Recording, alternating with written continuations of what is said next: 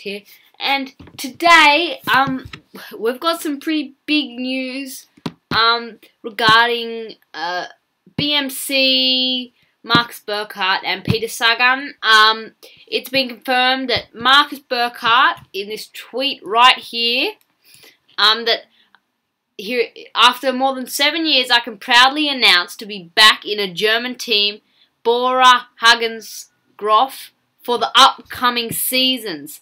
That means that next season, Marcus Burghardt will not be in BMC and will be in um, Bora Haggenstorf. This is quite sad for me because Marcus Burghardt is actually one of my favourite BMC riders.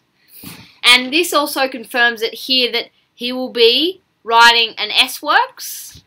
Um, Bora Haggenstorf, uh, they will be with a three-year deal, so that's going to be interesting how that works out. Also,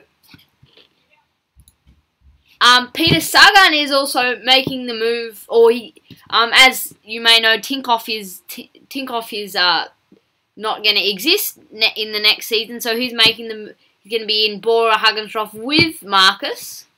Um, that's quite interesting. And yeah, so basically, there's a new team coming on, and it's going to be quite I think it's going to be quite a good, uh, almost uh, not really a GC contender. I think um, with uh, Peter Sagan, but more of a you know green jersey.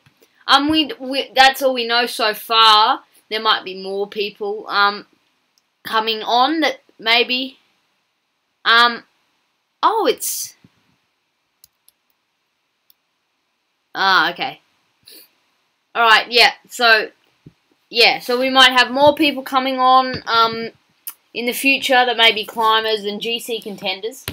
But yeah, so it's going to be very interesting in the 2017 season to see how this Bora Haggenstorf team, bicycle team, um, goes. Anyway, um, that's it for this video, and uh, I'll see you guys in the next one.